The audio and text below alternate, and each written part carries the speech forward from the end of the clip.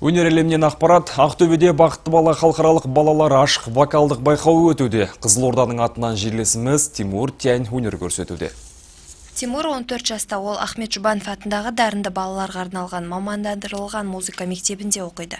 Оның мақсаты Гнесіндер атындағы музыкалық колледжге түсу.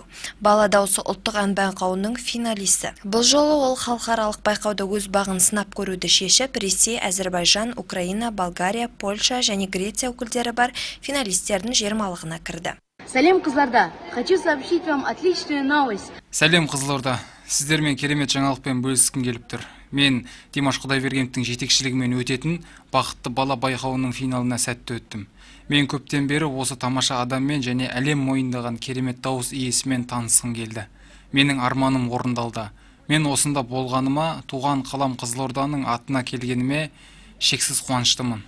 Оның үстіне мен осындай ауқымды байқауға қызылорда атынан қатысқан бірінші финалистпін әдеттегідей маған сіздердің қолдауларыңыз қажет қызылорда алға Сарапшылардың пікірінше Тимур тамаша дауысқа ие. Ол бірнеше музыкалық аспаптарда ойнайды. Ол музыка жазып, Қазақстанның атағын шығаруды армандайды.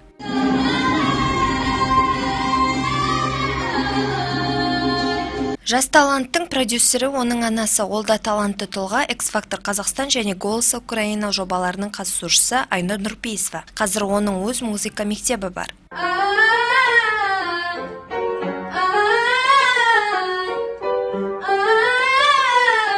Алда финалдық концерттер, гала-концерт ертең яғни 11 тамызда өтеді.